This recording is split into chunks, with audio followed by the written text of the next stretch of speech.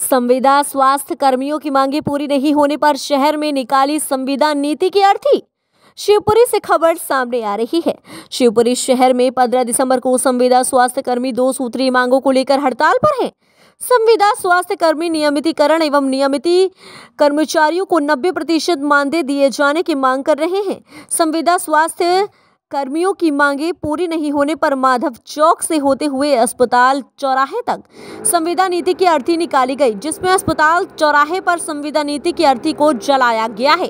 गौरतलब है कि पूरे मध्य प्रदेश में संविदा स्वास्थ्य कर्मी दो सूत्रीय मांगों को लेकर हड़ताल कर रहे हैं। इसी कड़ी में शिवपुरी में संविदा स्वास्थ्य कर्मियों ने संविदा नीति की अर्थी बनाकर शहर के मुख्य चौराहों से निकालते हुए अस्पताल चौराहे पर अर्थी को जलाया गया। आगे संविदा स्वास्थ्य कर्मियों ने बताया कि प्रदेश में संविदा नीति 2018 में लाई गई थी लेकिन उसको सरकार द्वारा अभी तक लागू नहीं किया गया। निकाली गई है। क्या उद्देश्य से निकाली गई है और कहाँ से निकाली गई है? हम सब स्वास्थ्य विभाग के संविदा स्वास्थ्य कर्मचारी हैं और हम पिछले 15 दिसंबर से लगातार हड़ताल कर रहे हैं और हड़ताल दो सूत्रीय मांगों को लेकर कर रहे हैं। पहली कि हम सबको नियमित किया जाए या हम सबकी जो पंद्रह पाँच जून दो हज़ार अठारह को जो नीति लागू की गई थी मध्य प्रदेश सरकार द्वारा बनाई गई थी, वह नीति को लागू किया जाए। इन दो मांगों को लेकर के हम निरंतर सरकार से निवेदन कर रहे हैं, परंतु मध्य प्रदेश सरकार हमारी बात को अभी तक उतनी प्रमाणिकता से नहीं ले रही है।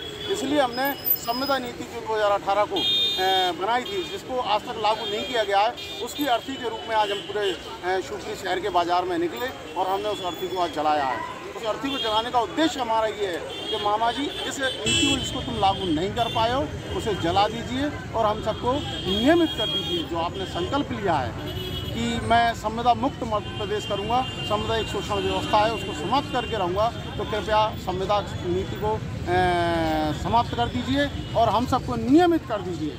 ये मांग को लेकर के आज हम सब लोग यहाँ खड़े हुए हैं। हम सब वो लोग हैं जिन्होंने कोरोना वॉरियर्स के रूप में मध्य प्रदेश में अपने जीवन को आहुतियाँ दी हैं, हमने अपने जीवन को संकट में डाल के काम किया है। मामा जी ने हम सब पर फूल बरसाए हैं और आज वो मामा श्री हम पर लठ बरसा रहे हैं, हमारे लोगों को जेल पहुँचा रहे हैं, रस्सियों से बाँध करके घसीट करके ले जा रहे हैं। ये बहुत दुखद स्थिति है।